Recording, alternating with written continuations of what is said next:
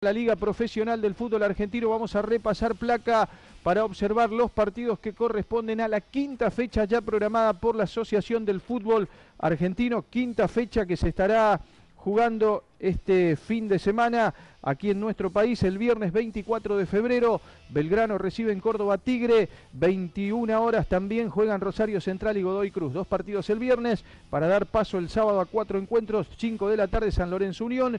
19-15 Estudiantes de La Plata, Sarmiento de Junín. Mismo horario Platense Talleres. 21-30 en Liniers, Vélez Boca, el partido más sobresaliente del sábado. El domingo 17 horas Colón Huracán.